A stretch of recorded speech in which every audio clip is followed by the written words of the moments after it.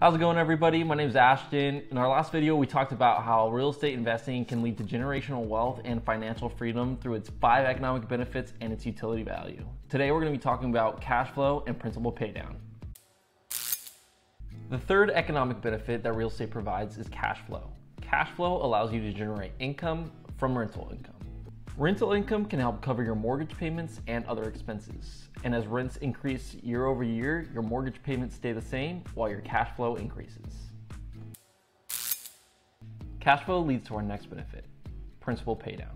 As each mortgage payment is made, it reduces the principal balance of the loan. Over time, this can significantly reduce the total amount of your loan, freeing up additional capital to invest into more properties.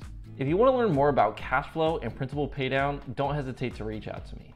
Tune to the next video, we'll be talking about the last economic benefit, appreciation, and real estate's utility value. I'll see you guys there.